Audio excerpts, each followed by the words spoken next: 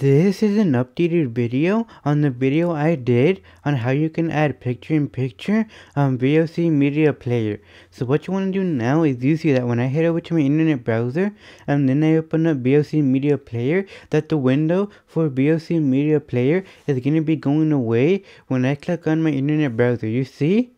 You see I clicked on my internet browser and the window for picture-in-picture for VLC Media Player went away because we're not in the mode for picture-in-picture on VLC Media Player. So what you want to do now is open up VLC Media Player. And once you open up VLC Media Player, click on where it says Tools. And then you want to click on where it says Preferences. And then right here at the bottom where it says Show Settings, you want to change it from Simple to All and now you want to click on it says video?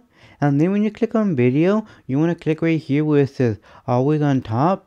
And now click on where it says save to save your settings right here. And then what you want to do is so that the settings get applied you want to restart VLC media player. So let's restart VLC media player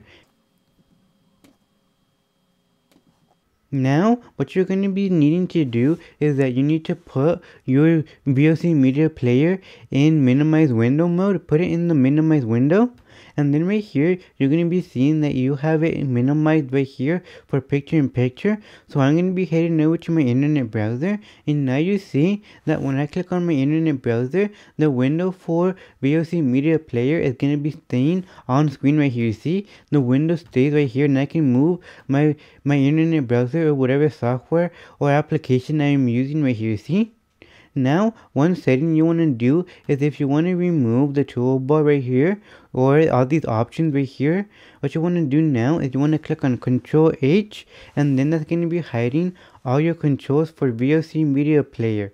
Now, if you want to bring back the controls, what you want to do is you want to click on Control H and that's how you can bring back the controls for VLC Media Player by using Control H to hide it to hide it and Control H to bring back the toolbar.